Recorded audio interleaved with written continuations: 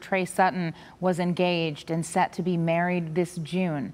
At this time, his fiancee, Zoe Pearson, is not ready to talk about the loss on camera, and understandably so. However, she did share pictures of the two of them with CBS 6 and also a heartfelt written statement. Crime Insider Jon Burkett reports.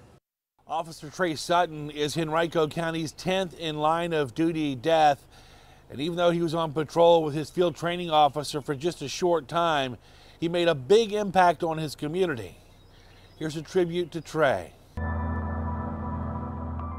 Uh, it was gut wrenching uh, to, to hear the, the type of call. He was having a good time. Uh, so,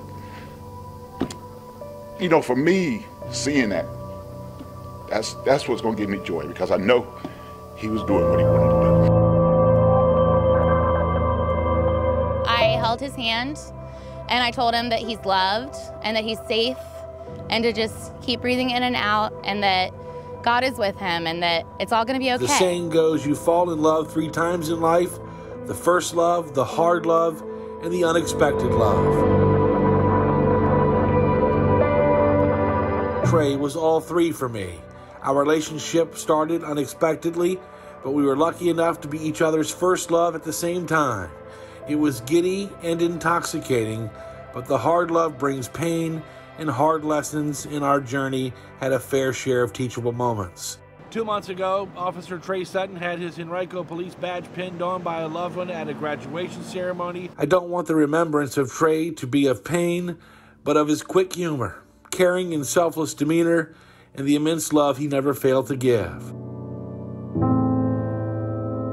As I always say, this too shall pass, uh, but it's not going to be easy.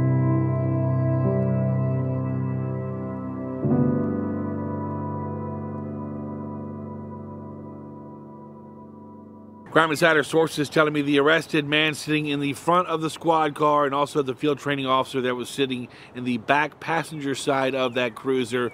They're both still in critical care at VCU Medical Center.